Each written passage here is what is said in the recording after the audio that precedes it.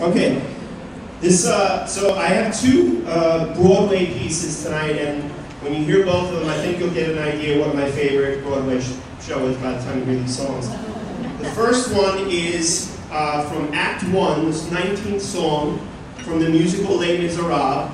It is uh, entitled Stars, and a little bit of context to this song.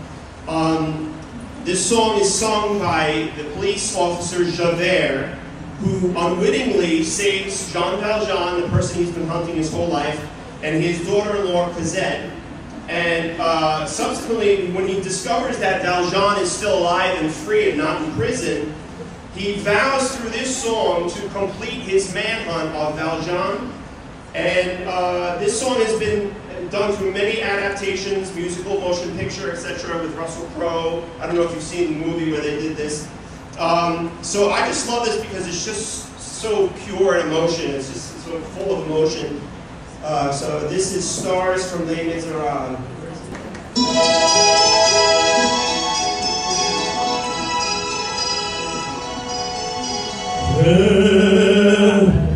Out in the darkness, a fugitive running, fallen from God,